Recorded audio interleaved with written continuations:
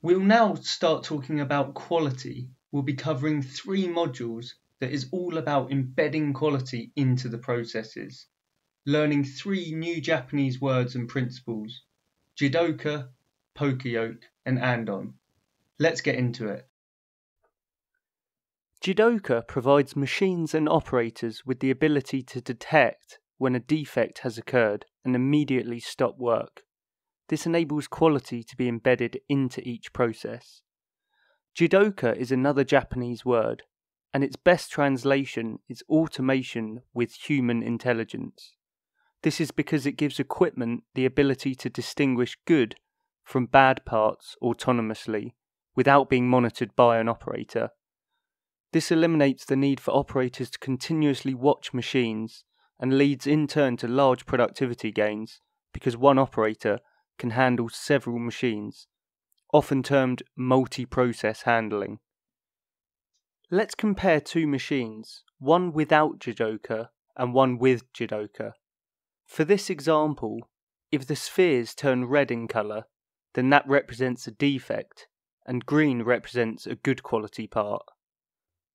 The machine without Jidoka, if left unsupervised, will not be able to detect defects, so will continue processing, leading to a high level of rework. The one with Jidoka can still produce a defect, but when it does, will detect an abnormal condition and stop the processing. This has the huge benefit, apart from just quality, of allowing equipment to operate unsupervised. This is an important part of lean, involving people and respecting people. Besides the huge cost savings of removing operators from machine minding, I personally believe it's our duty as lean practitioners to upskill staff and take them away from these mundane roles where they simply watch a machine and wait for a problem, or complete repetitive, boring tasks like simply loading and unloading machines. This is where Jidoka comes in. Jidoka highlights the causes of problems because work stops immediately when a problem occurs. This leads to improvements in the process that build in quality by eliminating the root cause of the defects. The concept of Jidoka originated in the early 1900s when Sakichi Toyoda, founder of the Toyota Group, invented a textile loom that stopped automatically when a thread broke. Previously, if a thread broke, the loom would churn out mounds of defective fabric, so each machine needed to be watched by an operator. Toyota's invention let one operator control many machines. In Japanese, Jidoka is a Toyota created word, pronounced exactly the same and written almost the same as the Japanese word for automation, but with the added connotations of humanistic and with human like features. Jidoka is all about quality, and more specifically, identifying errors as soon as possible and preventing them from repeating. If we cast our minds back to the history of Lean module, that was one of the biggest differences between mass production and lean manufacturing. Lean puts an emphasis on quality and the prevention of rework. So, why is rework such a problem? Well, the further a product moves away from the source of the problem, firstly, the less chance the root of the problem will be found, and secondly, the more costly the rework will be.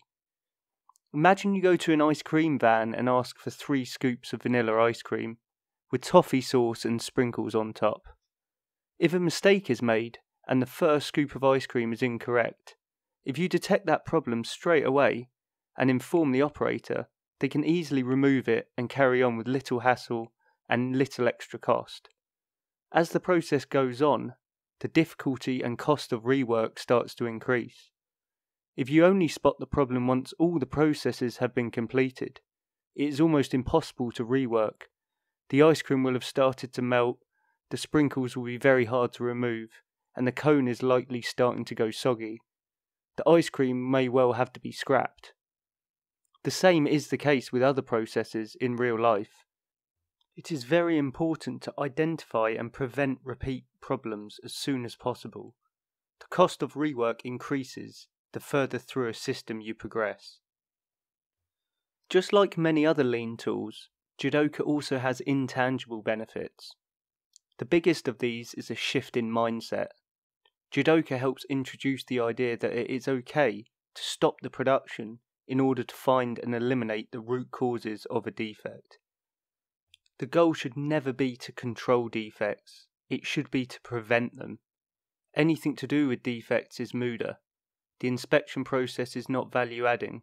The customer isn't willing to pay for a team of inspectors to go round weeding out the defects, only to spend more resource rectifying issues, reworking products, and managing the entire rework process. These costs ultimately become added onto the cost of the product.